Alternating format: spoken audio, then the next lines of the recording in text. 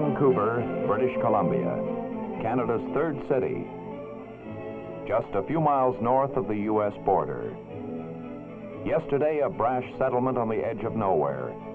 Today, one of the most beautiful cities in North America and the busiest seaport on Canada's Pacific coast.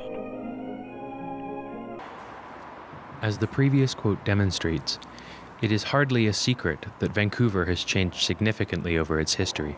In investigating two sites, Granville Island and the waterfront of Canada Place, I hope to show you not just that change has occurred, but also to demonstrate the more subtle impacts that these changes have had on the waterfront, who can use it, and how.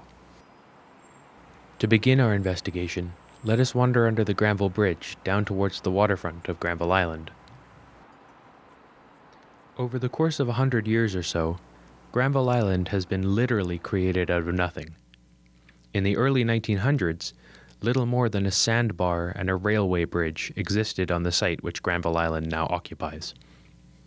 Rapidly, this area became a place of work for many, with mills and other industrial establishments making up a large proportion of the businesses operating there. Even within a few moments of arriving at the waterfront, we can see that this history of industrial use has significantly changed in the modern day. Gone are the industrial establishments, along with the piers and the barges that used to load and unload throughout False Creek. In their place, marinas filled with the yachts and sailboats of the ultra wealthy compete for space with tourist aimed establishments such as boat rentals fishing charters, and restaurants. Also gone, it would seem, are the working class people themselves. Instead, members of the city's middle and upper classes, characterized by authors such as Rob Brownie and Annabel Vaughn as the city's leisure class, stroll the seawall sporting fleece jackets and iPhones. Another group of people who are conspicuously absent from this idyllic scene are Vancouver's poorest residents, the usual litany of panhandlers, shopping carts, and people sleeping on cardboard are nowhere to be seen. In part due to the lack of working people and of poorer residents, I truly got the sense that the downtown peninsula of Vancouver and the area surrounding it, such as False Creek, has, in the words of Trevor Boddy, been transformed into a splendid resort in danger of losing its conventional business and commercial functions altogether.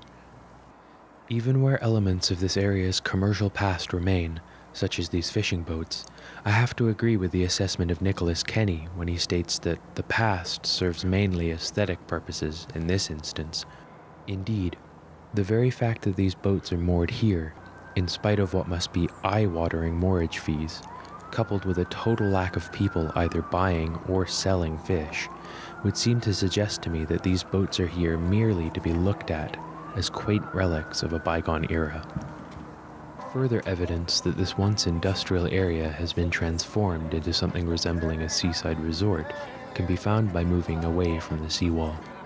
Here, situated on what was once presumably a working dock of some form or other, tourists and the leisure class alike enjoy live musical performances as they sit and eat food purchased from the nearby public market itself a space that is transformed from an industrial facility to one which caters to the fine dining needs of the city's most affluent populations.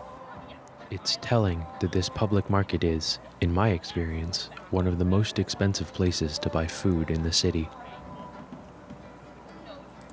Having investigated Granville Island, let us now cross the city to see if similar processes are at work on the waterfront of Canada Place.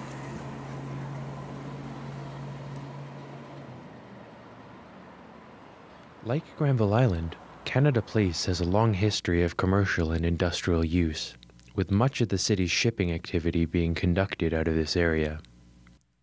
Other commercial pursuits include the long standing tradition of passenger vessels, such as the Empress of India, seen here coming into dock in what is now Canada Place itself.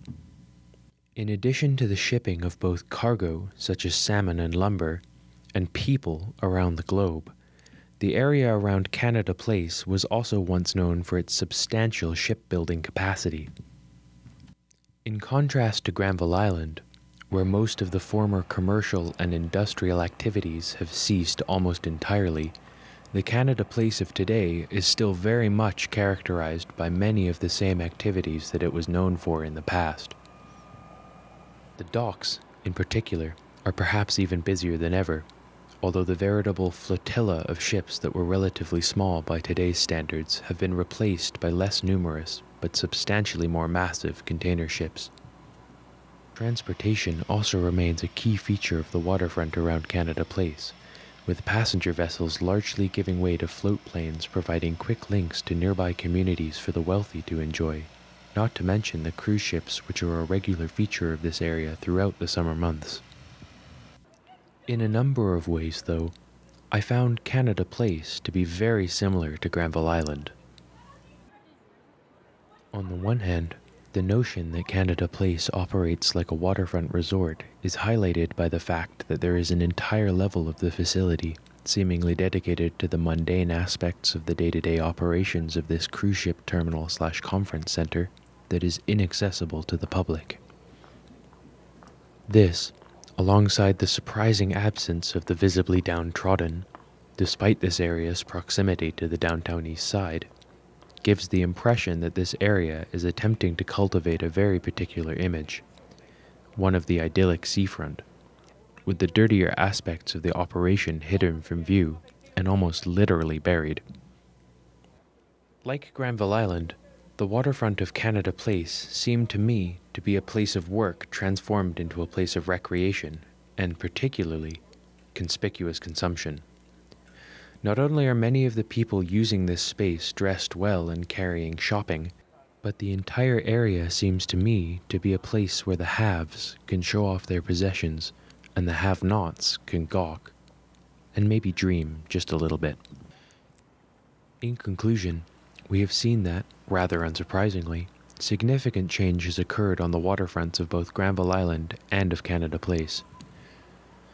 What is more significant than the fact that this change has occurred is what this change means for everyone in the city. On the one hand, the leisure class has gained a spectacular waterfront promenade that extends almost the entire way around the downtown core of Vancouver. Personally, I think that this, alongside the environmental improvements that have come as a result of lessened commercial and industrial activity along the waterfront, is an extremely positive thing for the city in general. On the other hand, though, those populations who have seemingly always been on the margins of Vancouver society, the working class, the poor, and the downtrodden, are increasingly being squeezed out of the very areas of the city that they had once laid claim to. This, I feel, is an unacceptable way to treat people who have just as much of a claim to living in the city as these people wandering the seawall on a sunny Monday afternoon in November.